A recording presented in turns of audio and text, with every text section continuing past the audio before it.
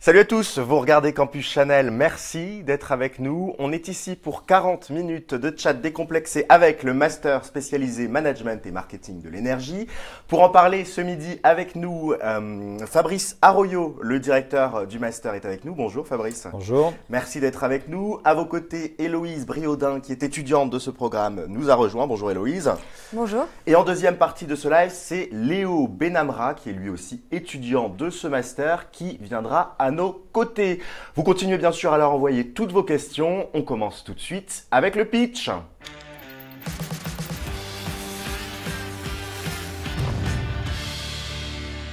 Fabrice, est-ce que vous êtes prêt? Je suis prêt, je Vous pense. avez une minute chrono, pas une seconde de plus. Attention, top, c'est parti. Donc le master spécialisé management et marketing de l'énergie a pour but de former des ingénieurs mais aussi des étudiants issus d'écoles de commerce au domaine de l'énergie euh, en apportant une double compétence managériale et technologique visant à former euh, à trois types de, grands métiers, je dirais. Le management de projet, qui est assez classique dans l'énergie, le marketing et le business développement, qui est un peu plus nouveau, et puis euh, le conseil et l'analyse stratégique. Voilà. Sachant que le master vise à principalement une spécialisation sur les domaines des, des énergies renouvelables et des réseaux électriques, euh, même s'il offre une, ouverture euh, bien plus importante avec des cas euh, d'énergie étudiés en management côté GEM, avec une école partenaire d'ingénieurs, l'ENSECUB, qui fait partie du groupe Polytechnique Grenoble, sur les filières et tous les marchés énergétiques. Très bien, bah écoutez, vous avez terminé parfaitement dans le timing. On va passer tout de suite au face-à-face. Et vous continuez bien sûr à nous envoyer toutes vos questions. Elle s'affiche juste ici, à droite de votre écran. Et en régie, on envoie la première question pour vous, Fabrice. Donc en quelle langue les cours sont-ils dispensés? Alors on est à peu près du 60-40 français-anglais. Donc 40% d'anglais, 60% de français euh, en gros. Et alors, comment ça se passe la répartition des langues? Est-ce que c'est stratégique ou est-ce que c'est histoire de dire qu'on a varié les langues? Alors, c'est c'est pas que, que stratégique, ça dépend notamment des intervenants. On a privilégié du, du bon anglais de la part d'anglophones plutôt que d'imposer l'anglais à des francophones. Toi, Héloïse, c'est quelque chose que tu recherchais un petit peu, ce côté multiculturel qui offre peut-être la possibilité d'aller à l'international? Oui, tout à fait. Euh, je pense aussi qu'il y a du jargon spécifique au secteur de l'énergie. Euh, et donc, euh, c'est un des critères plus, selon moi, d'avoir 40% des cours qui sont dispensés en anglais. Et alors, ça va être quoi comme cours? Tu peux nous donner quelques exemples de cours que tu as en anglais? Alors par exemple, là ça fait deux mois qu'on a commencé et on a eu les marchés de l'énergie en anglais. Euh, et puis quelques conférences sur, euh, sur des thématiques euh, de géopolitique. Donc ça va concerner l'international en fait et le jargon du marché de l'énergie à l'international. Ça veut dire Fabrice qu'au moment du recrutement, vous exigez peut-être un niveau minimum d'anglais? Plus que minimum, je dirais. non, il y a le, le TOEIC sauf erreur qui doit être au moins 850. Hein. Et puis, effectivement, pendant l'entretien, on peut être amené à parler en anglais pour, pour voir un petit peu les réactions du candidat et son niveau euh, à l'oral. Et ça, du coup, vous allez tester aussi s'ils connaissent déjà le vocabulaire spécifique au domaine de l'énergie. Comment non. ça se passe? Non, le problème, c'est pas c'est pas de tester le vocabulaire spécifique, c'est être à l'aise en anglais, avoir un niveau pour euh, comprendre à l'oral et à l'écrit euh, des cours, euh, sans pour autant connaître un vocabulaire spécifique, sachant qu'il y a aussi un voyage à l'étranger où tout se fait en anglais. Donc cette année, c'était à Vienne où il faut être capable de comprendre, notamment des conférences euh, en anglais. Très bien. Héloïse, je te laisse prendre la question suivante. Alors, est-il possible de suivre cette formation directement après un diplôme d'ingénieur? Euh, À cette question, je répondrai oui, euh, puisque euh, la plupart euh, des gens de notre master spécialisé cette année euh, viennent directement d'être diplômés en fait d'une formation ingénieur. Euh, donc oui, c'est tout à fait possible euh, après un diplôme, mais aussi quelques années plus tard, euh, après quelques années de, de travail. Été quoi, toi, par exemple, ton parcours? Moi, j'ai fait 5 ans d'école de commerce et, et, je suis rentrée directement dans le master spécialisé. Donc on est euh, sur la, la, formation, on est une trentaine d'étudiants et on est deux euh, à venir d'école de, de, commerce. Et tout le reste sont des ingénieurs et un jeune diplômé en droit de l'environnement. Vous exigez de la part de vos candidats qu'ils aient eu déjà une première expérience dans le secteur de l'énergie ou ça peut être quelque chose de tout nouveau pour eux? Alors généralement, sauf exception exceptionnelle, parce qu'il y a des, secteurs connexes, euh, ça peut être les télécoms, voire l'immobilier, on exige au moins, un stage ou deux dans le domaine de l'énergie qui lui-même est vaste. Donc ça peut être assez, assez large, mais effectivement, il y a un prérequis d'au moins une, expérience, euh, je dirais, euh, satisfaisante, dans un, soit directement dans le domaine de l'énergie ou un domaine euh, assez proche où on peut faire des, passerelles de façon assez facile. Et ça peut être simplement un stage, il n'y a pas besoin forcément d'avoir une expérience professionnelle pour rejoindre la formation Oui, ça peut être un stage. Généralement, c'est au moins deux stages et c'est des stages assez significatifs d'au moins trois mois, voire six mois. Très bien, je vous laisse prendre la question suivante. Alors, quel est le profil type des candidats que vous admettez dans votre programme? Alors Héloïse en a, a parlé, c'est euh, bon, il y a une grande majorité d'ingénieurs, hein. on est à entre 70 et 90% cette année ça doit être euh, plutôt 90. Euh, sachant que bon, le, le marché de l'emploi apprécie, je dirais surtout en France, beaucoup le profil ingénieur, avec une double compétence en management derrière. Après, il peut y avoir des profils un petit peu spécifiques ou plus atypiques, qui viennent notamment d'écoles de commerce et ou de domaines comme euh, le droit, les sciences politiques ou même l'économie. Et ces profils-là, ils arrivent à, ils arrivent à, à candidater, à suivre? Oui, alors après, il faut qu'ils aient peut-être un projet a priori un peu plus ciblé, un projet professionnel un peu plus ciblé qu'un ingénieur qui aura, je dirais, plus de, moins, moins, je dirais, l'obligation d'avoir un projet très, spécifique. C'était quoi, toi, ton parcours, Héloïse? Donc, tu nous as dit que tu étais en école de commerce, mais qu'est-ce qui t'a poussé à rejoindre ce master? Euh, alors déjà, euh, j'avais fait un master 2 en transformation digitale, euh, donc je voulais travailler dans le digital.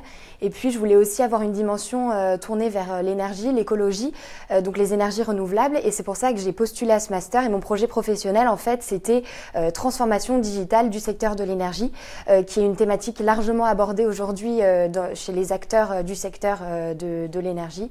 donc voilà, en fait, ça rejoignait un petit peu enfin, les, attendus aussi. Euh. D'où sa présence. Et tu avais, euh, tu avais déjà eu des premières expériences professionnelles dans le secteur de l'énergie ou c'était complètement à côté? Non, c'était une, nouveauté.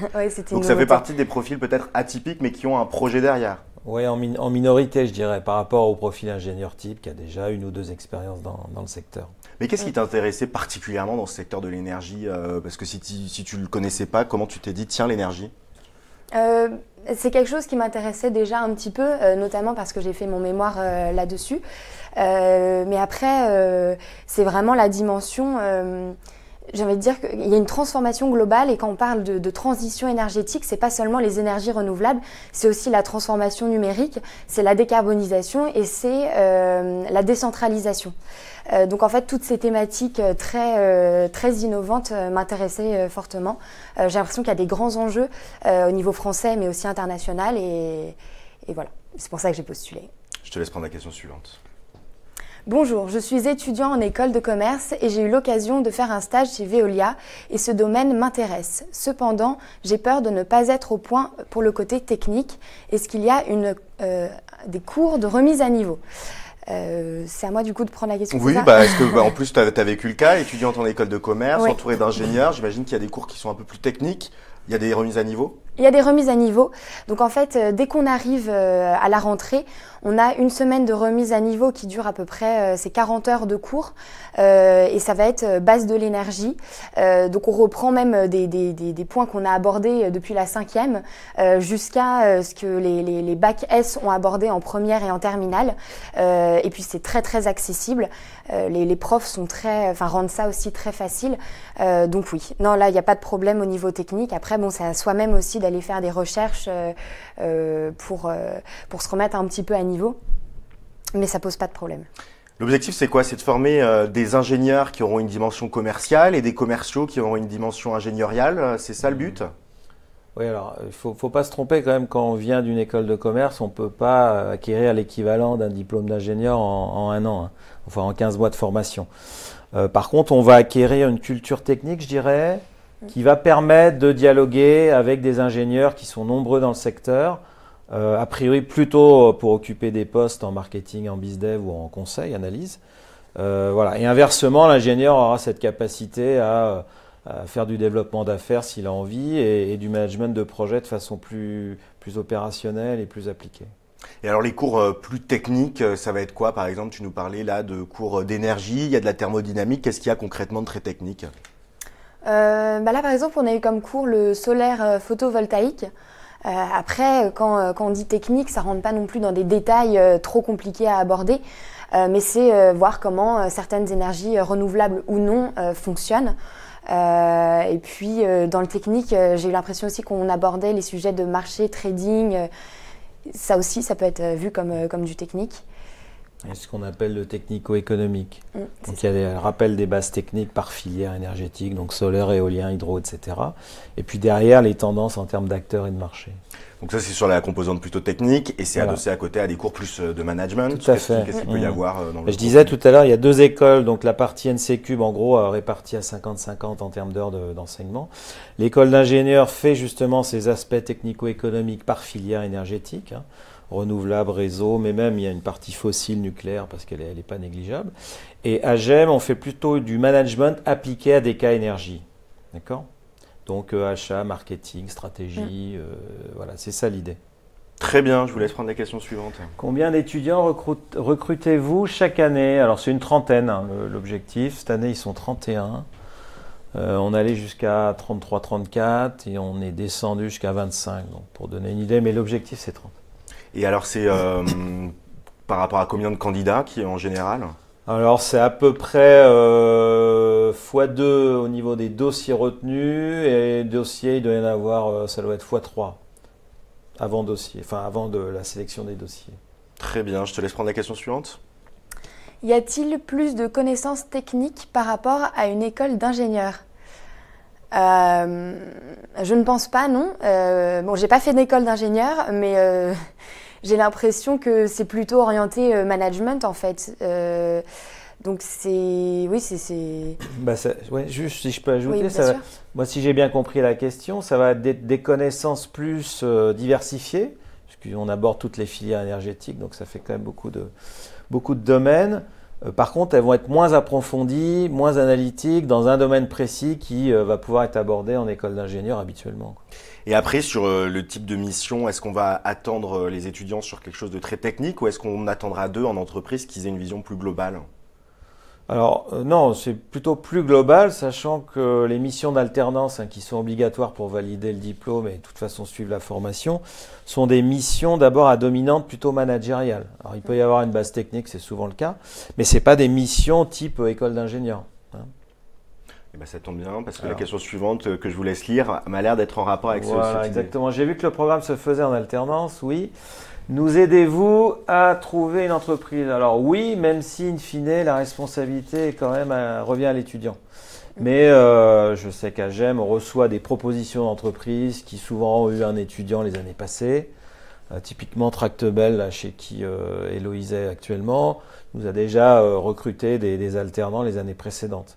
Ça va être sur quel type de poste en général alors ça peut être des postes d'ingénieur d'affaires, ça peut être des postes de consultants, ça peut être des postes de chargé d'affaires. voilà. Ça, ça, ne peut pas être par contre des missions purement, purement techniques ou à dominante très technique, type études très spécifiques. Ça, vous le refusez, vous Oui. Parce que vous voulez que les étudiants aient cette vision plus d'ensemble. Tout à fait, tout à fait.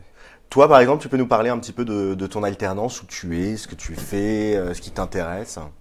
Euh, alors moi, je, fais mon alternance chez Tractebel, c'est une filiale euh, d'Engie. c'est donc un bureau d'ingénierie et de conseil. Et dans cette alternance, je suis chargée de mission énergie renouvelable et stratégie énergétique. Donc je travaille sur le territoire français, donc j'aide en fait les, les, métropoles à développer leurs projets d'énergie renouvelable. Moins sur le côté digital du coup qui t'intéressait plus en arrivant? Euh, un peu moins sur le côté digital. Euh, ça, je le garde dans, un second temps. Donc, en fait, mon objectif dans cette alternance, c'était euh, d'acquérir vraiment la dimension technique et d'être entouré aussi d'ingénieurs qui peuvent m'apporter des, compétences complémentaires. Donc euh, tout ce qui va être euh, digital, ce sera euh, dans un second temps. Et c'est quoi le rythme de l'alternance? C'est deux semaines, deux semaines, de octobre à avril. Ensuite, de mai à juillet, c'est une semaine par mois. Et de août à décembre, ce sera en, en, temps plein. Bon, bah très bien, je te laisse prendre la question suivante. Comment se passe la sélection au sein du master? Euh, alors déjà, euh, pour postuler, il faut faire un, dossier, il faut monter un dossier de candidature. Donc en allant sur le site euh, de GEM, sur le programme MS Énergie, on peut voir tous les documents qui sont nécessaires pour faire sa, sa, candidature. Donc ça va être exposer son projet professionnel, ses relevés de notes je sais plus. Euh, euh, le test TOEIC d'anglais, etc. Euh, et puis motivation. ouais, c'est assez classique. Hein. Etc. Qu'est-ce que vous attendez peut-être de la part des candidats? Qu'est-ce que vous Juste, recherchez? Il faut ajouter qu'il y a quand même un entretien après, sélection du dossier. D'accord. voilà, d'une demi-heure qui est, qui est obligatoire. C'est l'entretien qui est déterminant? Qu'est-ce que vous attendez des, étudiants qui aient des bons résultats ou on peut avoir de mauvais résultats, mais enfin de, des résultats moyens, mais une bonne motivation? Mauvais, il faut mieux, il vaut mieux éviter. je ce qu'on regarde beaucoup en entretien, euh, au-delà de la, évidemment de la présence, de la présentation, etc., c'est le côté projet professionnel. Mm. Est-ce qu'il est en accord ou pas avec ce que nous, on va enseigner dans, le cadre du master, les objectifs du master et, le parcours de l'étudiant avant? Voilà, il faut qu'il y ait une cohérence entre les, entre les trois. Donc c'est ça, le, je pense, le point clé. Et alors, euh, comment ça va se passer l'entretien? Qu'est-ce que vous allez demander concrètement aux candidats Est-ce qu'il y a des questions un peu pièges? Est-ce que vous allez tester leur connaissance du milieu? Non, c'est pas une question piège, c'est un peu comme ici, et on demande un pitch hein, au départ. Donc euh, voilà, en cinq minutes, c'est un peu plus long. Qu'est-ce que vous avez fait? D'où venez-vous? Qu'est-ce que voilà. Deuxième temps, qu'est-ce que vous voulez faire? Pourquoi le master? Donc là, c'est vraiment l'aspect projet qui est, vraiment clé. Euh, notamment la partie alternance à court terme qui valide, je dirais, la première étape d'un projet professionnel où là on essaye d'estimer, d'évaluer le réalisme aussi euh, de l'objectif, des cibles. Et puis dans un second temps, euh, le projet à 4-5 ans, on va pas tellement plus loin, mais pourquoi pas, mais c'est plutôt ça. C'est court terme alternance et à 4-5 ans, comment vous voyez? Et si ça correspond, c'est cohérent avec ce que nous, on est capable d'apporter en formation, et le parcours précédent du candidat, à ce moment-là, il a de fortes chances d'être accepté. Voilà. Eh bien, on va faire une petite pause dans les questions, si vous le voulez bien. On passe tout de suite aux trois mots max tabou.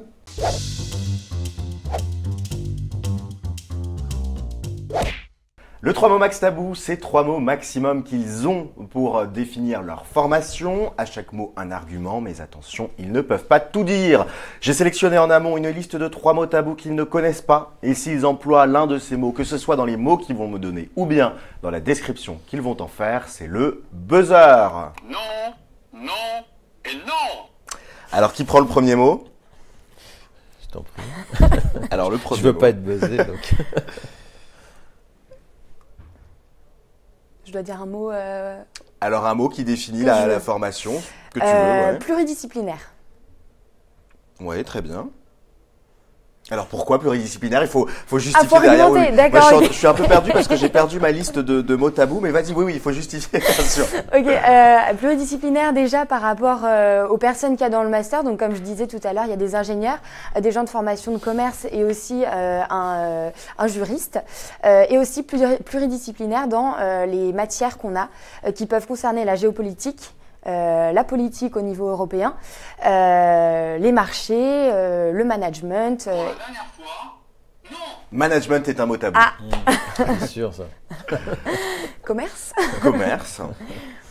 commerce et un peu, de, un peu de technique. Très bien. Je vous laisse prendre le deuxième mot. Alors je dirais flexible. Bien. voilà. Ça passe, c'est bon? Ça Pas de buzzer? Pas. Bon, parfait. Flexible, euh, flexible, bah, c'est à la fois en termes d'enseignement, ça rejoint un petit peu le, caractère ouvert. Hein. Euh, c'est flexible en termes électriques parce qu'on demande de plus en plus au système électrique, notamment énergétique, d'être flexible. Euh, je ne vais pas rentrer dans les détails, mais c'est important en termes d'équilibre off-demande, notamment d'électricité, par rapport aux renouvelables qui, elles, ont tendance à être intermittentes. Renouvelable. Renouvelable, c'est interdit. Alors ENR, voilà. C'est bon? Très bien. ENR, c'est accepté. Euh, flexible par rapport à l'adaptation des étudiants, euh, enfin, à laquelle ils vont devoir faire, faire preuve par la suite. Quoi. Très bien. Et le dernier mot? Le dernier mot, je dirais enjeu. Euh, donc, euh, comme je, enfin, pour revenir à ce que je disais tout à l'heure aussi, le secteur de l'énergie euh, vit. Énergie. énergie. Et c'est un trio gagnant. c'est la première fois que ça arrive depuis le début de la saison. Si énergie est à vous, on peut sortir tout de suite. Je pense que ce sera pour cette séquence simplement. de, l'électricité et du gaz? Bien. le secteur de l'électricité et du gaz vit plusieurs enjeux la décarbonisation, la digitalisation et la décentralisation. Très bien. Bon bah écoutez, c'est un, j'allais dire c'est un sans faute, mais c'est un toute faute. Mais euh, vous avez quand même euh, bien résisté au, au, buzzer. Mais voilà, les mots renouvelable, énergie et management euh, sont proscrits. Sont pro alors étaient proscrits pour la séquence. vous pouvez les, vous pouvez la réutiliser. Mais je suis très heureux. C'est la première fois que Campus Chanel fait un, un trio comme ça. On le fêtera. Euh, ben je vous laisse. Euh, je vous laisse Faut-il une première expérience professionnelle dans le domaine de l'énergie pour être admis dans ce secteur? Oui, c'est préférable. C'est pas indispensable, mais c'est préférable, en résumé. Et alors, expérience professionnelle, c'est pas forcément une expérience dans le cadre d'un CDI, ça peut être des stages. Tout à fait, ouais.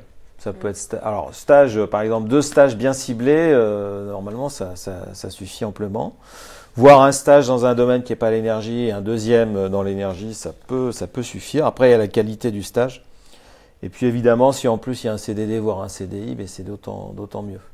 Très bien. Alors, avant de passer à la question suivante, je te remercie Héloïse Briodin d'avoir été avec nous parce que en deuxième partie, c'est Léo Bennamra qui va venir et prendre ta place. Merci beaucoup d'être venu sur le plateau de Campus Merci à vous, c'était un plaisir. Et du coup, Fabrice, je vous laisse prendre la question suivante. Alors, les cours sont-ils réalisés en partenariat avec d'autres euh, écoles? La réponse est oui. Hein. donc, c'est euh, l'NCQ qui fait partie du groupe INPG, donc qui est l'école eau, énergie, environnement spécialisée de, de Polytechnique Grenoble, donc école d'ingénieurs qui euh, enseigne la moitié à peu près des, heures de cours. Donc c'est un partenariat vraiment important et qui justifie aussi euh, l'apport d'une double compétence, puisqu'il y a une école de management, j'ai le droit, et une, école, et une école d'ingénieurs, donc qui sont vraiment main dans la main. Et à, la fin, les étudiants, ils ont deux diplômes ou ils ont un seul diplôme? Non, ils ont un diplôme, mais attesté par les deux écoles.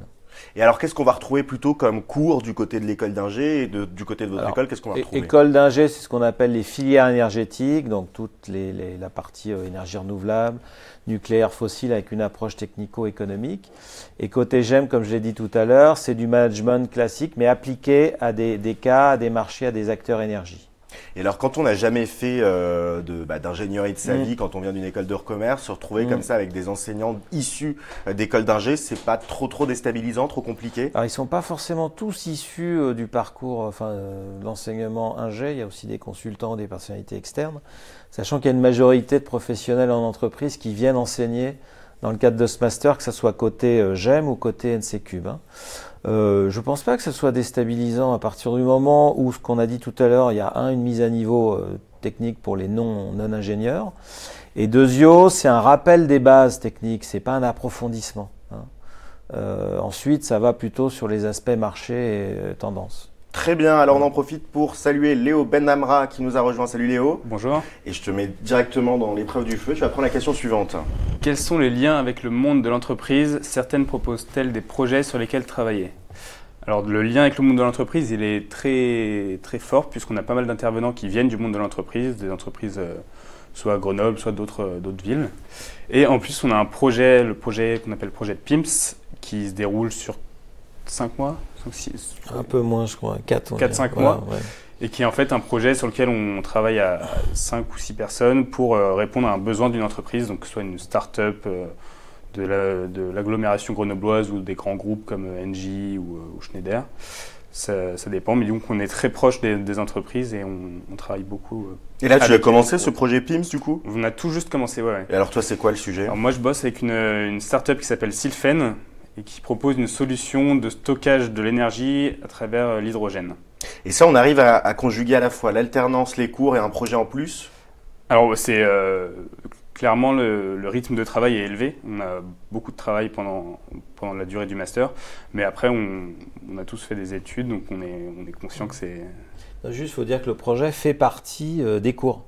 C'est dans le cursus et c'est évalué comme un autre module, euh, voilà, sauf que c'est vraiment une partie, euh, je dirais, euh, étude active en, prise réelle avec une entreprise locale. Enfin, locale ou pas forcément, ça dépend. Et au-delà des projets, il y a aussi, vous nous le disiez, des consultants, des personnes issues du monde de l'entreprise qui viennent donner un peu de leur savoir aux étudiants. Bah, sur le solaire photovoltaïque, vous avez eu le cours, il y, a, le premier cours il y a peu de temps, donc c'est un, consultant Infinergia qui, qui, qui, fait des études conseils dans le domaine de l'énergie. Et c'est pas le seul, quoi. Hein. Voilà. Je vous laisse prendre la question suivante, Fabrice. Ou elle est longue. Bonjour, je suis ingénieur avec trois ans d'expérience dans l'électronique aéronautique. En tant que chef de projet, le domaine de l'énergie me passionne depuis ma formation généraliste et je souhaite intégrer votre master afin de véritablement me dédier au domaine de l'énergie sans expérience professionnelle chez un acteur de l'énergie. Est-ce vraiment bloquant? Je dirais a priori non, sachant qu'il y a des passerelles entre l'électronique et je dirais ben, tous les domaines, dont l'énergie. Aéronautique, les passerelles sont peut-être un peu moins évidentes, mais euh, en termes de gestion de projet notamment, il y a, clairement des compétences euh, euh, qu'on peut réutiliser dans le domaine de l'énergie. Donc a priori, en plus 3 ans d'expérience, c'est intéressant. Je dirais entre 1 et 4 ans, 5 ans d'expérience, c'est exactement ce qu'il faut. Ça arrive souvent comme ça que vous ayez des candidats qui aient de l'expérience professionnelle. Qu'est-ce qu'ils recherchent à travers votre formation? Alors souvent non, mais on a, je dirais, dire 20%, je vais dire un petit peu au hasard des mais par rapport aux 3-4 ans d'expérience que j'ai en recrutement. ils viennent chercher une, euh, voilà, un repositionnement par rapport à une, 2, 3, 5, voire plus années d'expérience, euh, parce que c'est un domaine dont on parle pas mal, où il y a des opportunités, où il y a des changements, sachant que c'est pas un domaine, l'énergie, c'est une multiplicité de, de secteurs et de sous-secteurs. Donc euh, il y a aussi la possibilité justement de valoriser des parcours assez différents dans des domaines eux-mêmes assez différents aussi. Quoi. Léo, je te laisse prendre la question suivante. Les frais de scolarité sont-ils pris en charge par l'entreprise dans laquelle on effectue l'alternance? Alors oui, parce que euh, la formation se fait dans un rythme de contrat de professionnalisation. Donc dans ce type de contrat, c'est l'entreprise dans laquelle on travaille qui prend en charge les, frais de formation, ce qui est assez... Euh, appréciable. Assez appréciable. Et ça, c'est le cas pour tous les étudiants. Du coup, il y en a certains qui échappent à l'alternance. C'est le cas cette année pour euh, sur les 31, ça doit être 29 sachant qu'il y a quelques étudiants qui sont en stage. Euh, en fait, les 100% du temps ou près, c'est des étudiants qui viennent de l'étranger, qui n'ont pas fait d'études en France, donc qui n'ont pas le droit à une autorisation de travail pour euh, pouvoir euh, être recrutés en tant que, contrat, avec un contrat pro, qui est un CDD étudiant en gros. Et alors, c'est cette histoire de stage alterné? Non. alors après en durée ça change pas grand chose. En termes de programmation c'est les mêmes, c'est en gros 15 jours par mois, hein. ça ça change rien. Mais c'est surtout l'aspect rémunération qui est, très très différent évidemment, qui est moins intéressant. Alors de quelles écoles d'ingénieurs viennent les étudiants? Alors, je vais en citer quelques-unes. Euh, ça peut être variable, mais euh, on a bah, notamment l'INPG, puisque c'est à côté. Donc là, on a, de plus en plus de, d'étudiants qui ont fait un parcours INPG qui est assez différent parce qu'ils ont aussi un parcours euh, marché de l'énergie mais, mais qui, est, qui est assez proche. Donc c'est plutôt des gens qui viennent de, je sais pas, de chimie, d'électronique, d'électrotechnique et qui veulent valoriser ça sur l'énergie. On a des gens de l'INSA, on a des gens... Euh, ça peut être de l'effray aussi pour la partie informatique ou d'autres écoles. Alors, je sais pas, tu peux. Oui, toi, tu peux nous raconter un peu ton parcours, Léo C'est vrai que c'est assez varié. Il y a toi, des gens. Tu as, fait une école d'ingé avant Oui, j'ai fait une école d'ingé. J'ai fait l'EPF. D'accord. Une école euh, d'ingénieur généraliste. Dans quelle euh, spécialité, du coup Dans une majeure dans l'efficacité énergétique. Donc, déjà dans le domaine de l'énergie Déjà dans le domaine de l'énergie, mais finalement assez différent de ce qu'on voit euh, dans la formation. parce que c'est, comme l'a dit Fabrice, l'énergie, c'est un secteur qui est très large avec beaucoup de filière de l'énergie. Qu'est-ce qui est différent du coup dans, les cours, dans l'enseignement? Bah Là par exemple, moi ce que j'avais fait en école d'ingénieur, c'était surtout sur l'efficacité énergétique et euh, les, cours qu'on a actuellement, c'est plutôt sur la production d'énergie, le transport de l'énergie, les marchés de l'énergie. C'est très, euh, très large mais très intéressant aussi. Et du coup, sur les profils d'ingénieurs, il y a aussi des ingénieurs qui viennent de, des arrêts métiers, il y a Central Lyon, il y a... ECAM aussi. À Lyon. ECAM, mm. il y a des Polytech. Donc c'est euh, une grande variété en tout cas d'écoles de profils euh, qui, mm. sont, euh, qui sont acceptés. Tous ont-ils en commun d'avoir travaillé dans le domaine de l'énergie? C'est pas forcément une spécialité énergie dans leur diplôme, parce que vous parliez d'une école d'informatique tout à l'heure, mais en tout cas tous, il faut qu'ils aient quand même déjà ce lien avec le monde de l'énergie. Alors l'expérience, je dirais en, en, grande majorité oui, l'école pas forcément. Voilà, ça peut être une école d'ingénieur généraliste où ils n'ont pas abordé du tout ou très peu l'énergie. C'est pas forcément gênant ça. Ok. Léo, la question suivante est pour toi. À quelle période faut-il avoir son alternance? Arrive-t-il que certains étudiants ne trouvent pas d'alternance? Alors, euh, bah, l'objectif c'est de l'avoir le plus tôt possible hein, pour être tranquille. La rentrée c'est en septembre En octobre. En octobre. 1er octobre. Mais euh, après ça dépend en fait de quand est-ce qu'on est accepté dans le master, parce qu'il y a plusieurs phases de, recrutement. C'est-à-dire qu'il y a plusieurs sessions de, recrutement pour, euh, pour intégrer. Moi, par exemple, euh, j'ai postulé à la dernière session, donc c'était assez tard. C'était un peu le, rush pour trouver une alternance, mais euh, finalement, c'est faisable si on met les moyens pour. Euh. Mais bon, évidemment, le but, c'est de trouver le plus rapidement possible. On évoquait déjà tout à l'heure le, rythme de l'alternance, mais peut-être ça arrive qu'il y ait des candidats qui, d'un seul coup, ne trouvent pas d'alternance. Vous les aidez dans ce cas-là? Alors, je disais tout à l'heure, on a des propositions, on reçoit des offres. hein. Après, évidemment, il faut que l'entreprise soit intéressée et, et les recrute. Alors, ça arrive en. La, la grande majorité trouve avant même de, de démarrer la formation en début octobre. Et je dirais à 90%, ils trouvent, ou 95% même, ils trouvent tous avant, avant décembre. Après, il y en a toujours, on va dire, deux ou trois qui, euh, jusqu'à fin décembre, voire janvier, euh, pour lesquels c'est plus, plus difficile. Voilà. Après, c'est aussi ça qu'on cherche à évaluer lors de l'entretien, c'est la capacité à trouver une alternance assez facilement. Donc ça, vous le, vous le détectez sur la capacité, donc ont les candidats à se On- vendre. Normalement, euh, oui, on est censé le détecter et on- c'est ce sur quoi on, on est assez vigilant. C'est-à-dire Puisque quoi ça conditionne l'expérience, le financement, donc ça conditionne beaucoup de choses. ça, ça veut dire aussi, est-ce que le candidat est capable de se mettre en avant, de bien s'exprimer dans Oui, il y a l'entretien la- l'aspect forme, soft skills, comme on dit dans le jargon, et puis la- l'aspect contenu, compétences, connaissances plus spécifiques, et puis surtout parcours via les, premières expériences, que ce soit en stage ou, au-delà, que le, candidat va pouvoir valoriser face à un recruteur en entreprise a un contrat de professionnalisation, c'est un, CDD étudiant, donc c'est voilà, comme euh, trouver un job quasiment. hein. C'est un peu plus facile, mais c'est à peu près la même chose.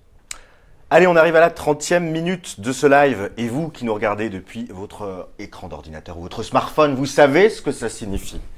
Oh oui, c'est destination finale.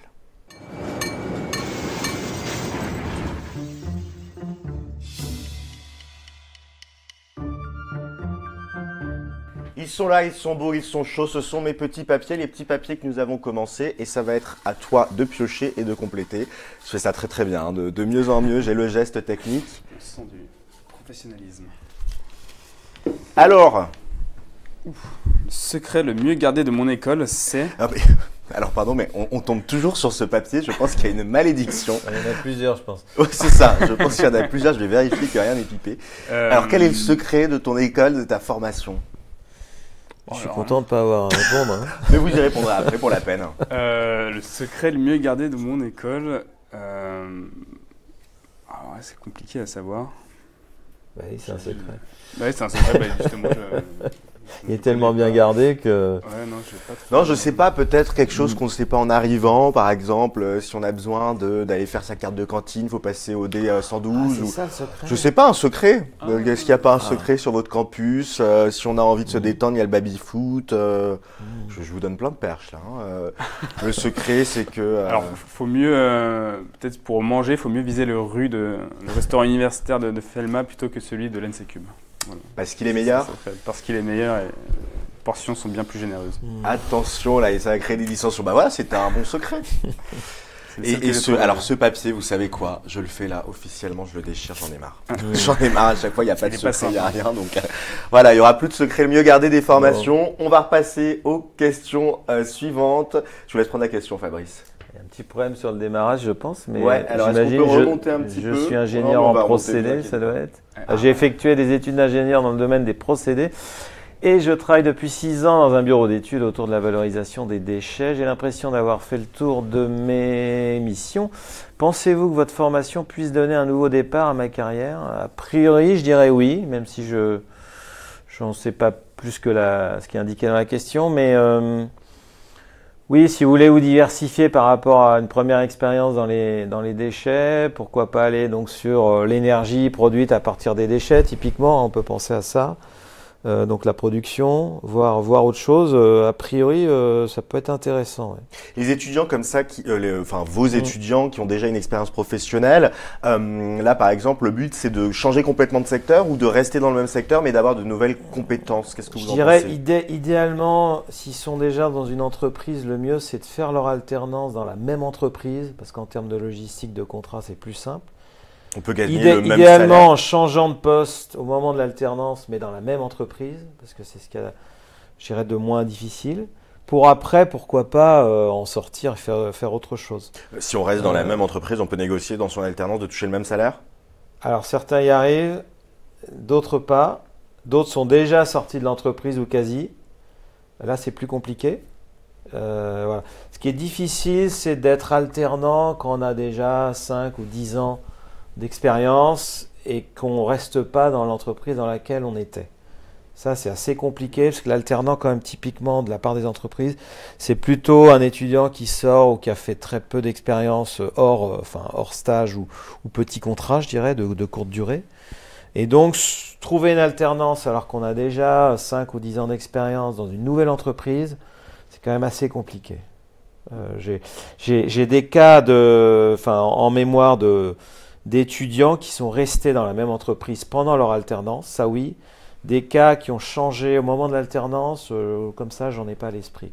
D'accord, donc c'est le conseil en tout voilà cas. Voilà pour le petit conseil. Très bien, Léo, je te laisse prendre la question suivante. Concrètement, ça veut dire quoi manager, manager l'énergie? Ça, veut dire, ça peut vouloir dire beaucoup de choses. Euh, il y a une différence entre manager l'énergie, donc les systèmes de management de l'énergie qui sont, des, qui sont un aspect assez technique finalement de l'énergie, et le management dans le domaine de l'énergie qui est plutôt la gestion de projet dans le domaine de l'énergie. Et du coup, le, développement de projet, ça peut être aussi très large, mais euh, c'est deux aspects complètement différents. Alors c'est quoi manager l'énergie? Pour vous On a il je pense qu'il a bien répondu. Il y a à la fois les, du management de projet assez classique, mais euh, ça peut être à la fois de la production, ça peut être de l'efficacité énergétique dans, dans, le bâtiment, dans l'industrie. Euh, ça peut être des systèmes d'information en lien avec la digitalisation. Donc si j'avais à résumer manager l'énergie, oui, c'est organiser, optimiser euh, la production, l'utilisation, le, transport de l'énergie dans, euh, dans, les systèmes. Voilà. C'est un peu vaste, mais c'est en gros ça. Très bien. Alors c'est à moi ou Oui, c'est à vous. Le, secteur de l'énergie est-il un gros pourvoyeur de jobs?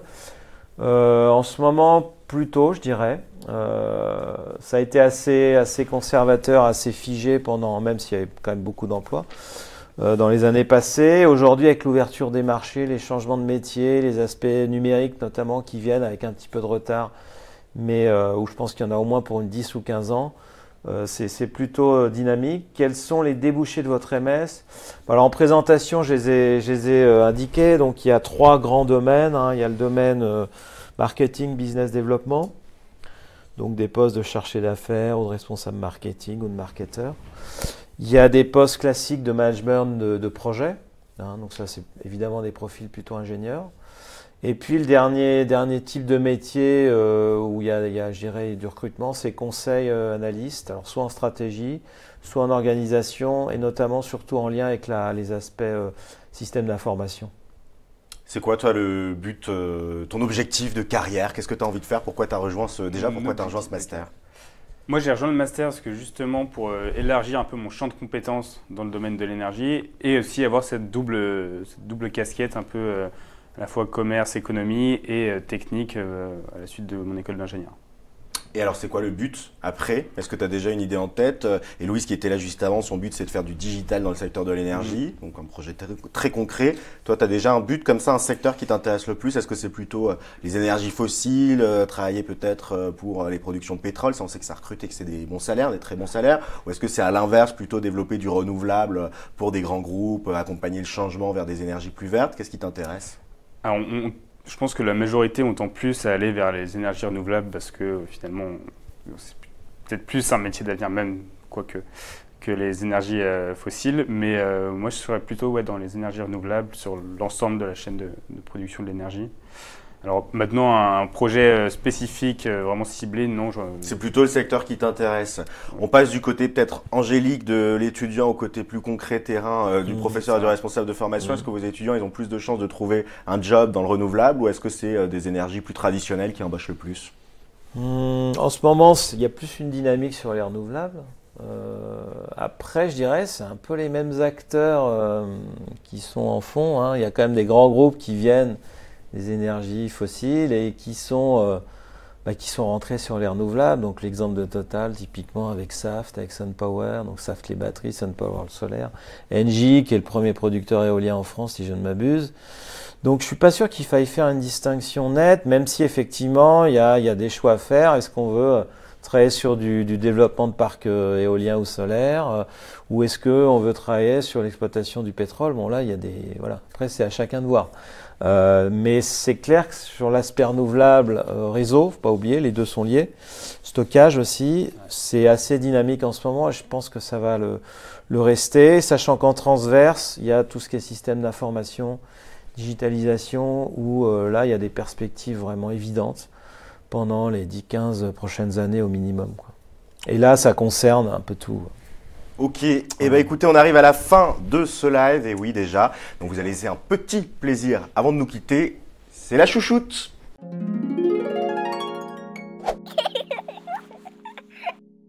Alors vous avez eu beaucoup de questions pendant ce live et vous avez chacun 10 secondes pour me dire quelle a été votre question préférée. Et je commence par vous Fabrice. Question préférée euh, Ah oui, le, plus grand secret de l'école. C'est vrai, vous l'avez bien aimé Non, c'est ironique. c'est très ironique. c'est pour ça que c'est ici que c'est jeté, qu'on n'y reviendra plus. Et toi, ta question préférée, ça a été quoi? Euh, Ma question préférée, c'était plutôt sur quel domaine, euh, quels sont les débouchés de, donc la question qu'on vient de traiter. La question Comme ça, c'est celle qui est le plus frais en tête. bon, non, mais c'est facile. bah écoutez, moi, ma question préférée, ça a été celle que j'ai posée à Héloïse sur son projet parce que je trouve qu'elle avait un très beau projet. Alors le tien aussi était très bien, mais c'était un projet atypique et original, voilà. Donc euh, je trouvais que c'était intéressant, mais la question ne m'était pas posée. Mais non, mais je trouvais que son projet était hyper intéressant. Merci beaucoup à tous les deux d'être venus. Euh, Fabrice Arroyo, responsable du master spécialisé management et marketing de l'énergie de GEM. Merci à toi, Léo Bennamra, euh, qui est étudiant dans ce même master et merci à Héloïse Bréaudin qui était avec nous en première partie de cette émission. Et puis merci à vous, bien sûr, de nous avoir suivis et d'avoir posé toutes ces questions en direct. Et je vous dis à très vite sur Campus Chanel.